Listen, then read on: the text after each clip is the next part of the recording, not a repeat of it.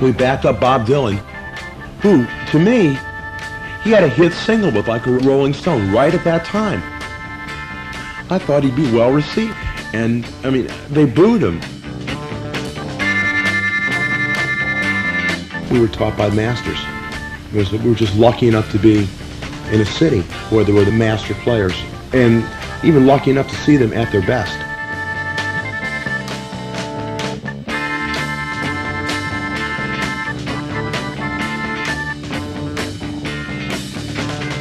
I'm a musicologist as much as a player, and it gives you a sort of clear view of where you lie in just the, in the historical pages of music history as it unwinds and unrambles.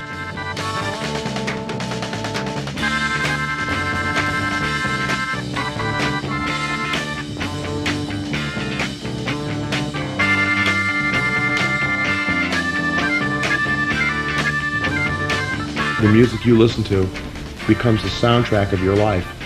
Well, that music's going to mean a lot to you. It's going to take on much, much more import than just the sound of the notes because it's become the background track for your existence.